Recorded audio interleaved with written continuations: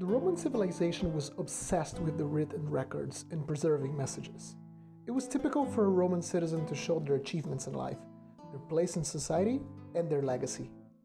Roman emperors were no different. And what better way to assert your authority and show everyone what a great leader you were than show it on your coins that everyone had in their back pocket?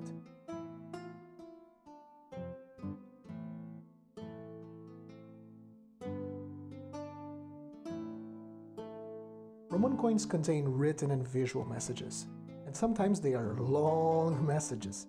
So long, in fact, not all letters would fit in a coin, so they had to abbreviate them. Let's have a look at some of the most common abbreviations on coins, the connections they have with their visual components, and how to understand what kind of messages they wanted to pass on. These were aimed at literate and illiterate people alike, so both written and visual parts had to work in tandem to pass an easily understandable message. So, you would pick up a coin, you would see someone's image, and be immediately greeted with three very important points. One, this is my name. Two, let me make it very clear I rule over you.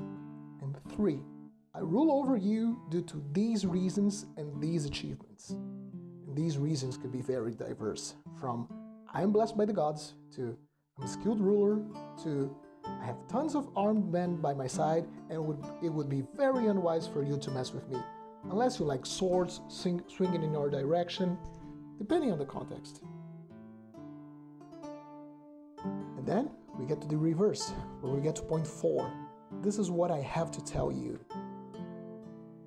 So, we have three coins to look at today. Each comes from a different moment in the empire's history and as we'll see, they send very distinct messages.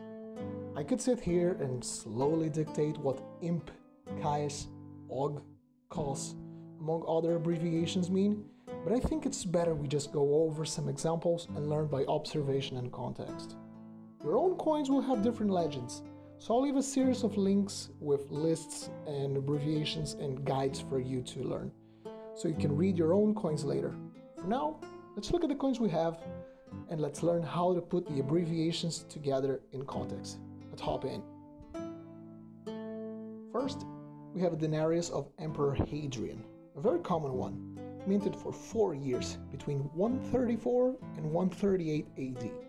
On the obverse, we can see a bare bust of Hadrian and it reads Hadrianus Aug Cos 3 PP. We already have three abbreviations here.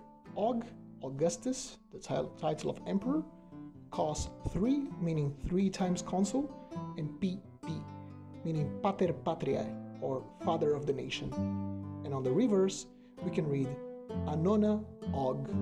Annona isn't an abbreviation, it refers to the subsidized distribution of grain to the poor citizens of the empire. Hence the figure on the reverse, a modius, the Roman standardized measure of grain, and Aug, once again, Augustus, the imperial title. So, if we were to write down the entire message of this coin, what would it be?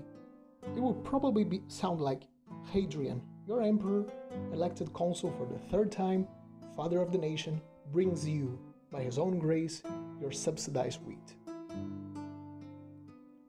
Notice there's no mention of imperial might or military achievements nor any excessive shows of power, even if this man was in charge of the most powerful military machine of his time.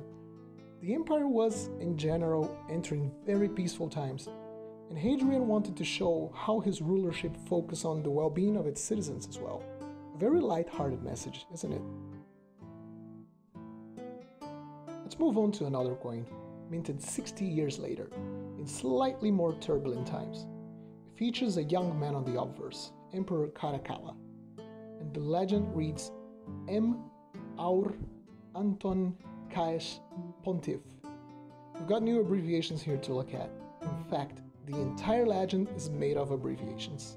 M. Aur Anton stands for Marcus Aurelius Antoninus, Caracalla's proper name.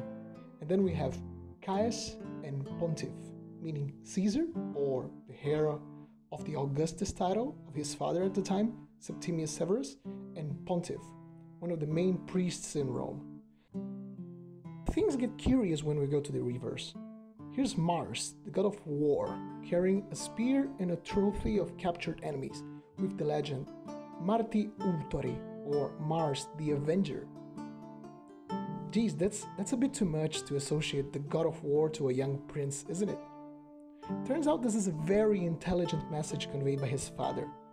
The coin was minted at 198, one year after Septimius Severus defeated Claudius Albinus on a civil war and after a successful campaign against the Parthian Empire.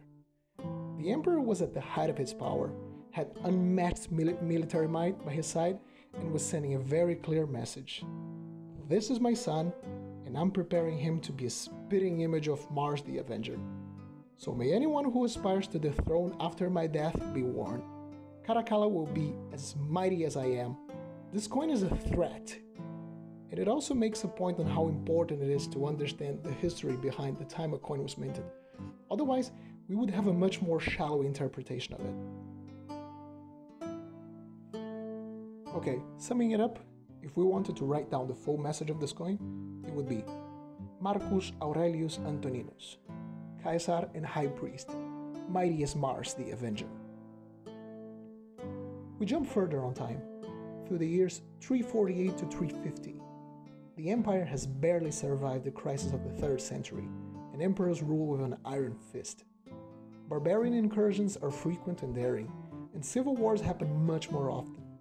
The empire is split between the two surviving sons of Constantine the Great, Constans and Constantius II. This is a silvered bronze coin, a typical coin someone from the more humble ranks of society would handle daily. These people would have had parents that lived to see the final years of the 3rd century, when generals such as Diocletian took command of the empire and stabilized it by force. Their idea of a ruler was very different to what we've seen on previous coins, and it really shows. On the obverse, we can read DN Constantius PF Aug. We got three abbreviations here. DN, Dominus Noster, literally meaning our Lord. Constantius, PF, Pius Felix, dutiful and well fortuned, and Aug, Augustus. We have a bust of Constantius wearing a diadem, symbol of royalty, and he's holding the entire world in his hand. Make no mistake, this is not the Senate and the people of Rome anymore. This is an, this is an autocracy, and the reverse will make the point even clearer. Here we can read Fel Temp Reparatio. We've got two abbreviations, Fel and Temp, meaning Felix Temporum or the happy times, the restoration of happy times. It's, it's quite a happy message. Wasn't it for the image of the emperor stepping on two poor captives with their hands bound on their backs? It may all look and sound very controversial, but let us remember the times when these coins were minted. Barbarians were at the gates, the empire was on the defensive, and what the masses wanted was for the emperors to keep the border safe, maintain a stable empire, and keep the barbarians out.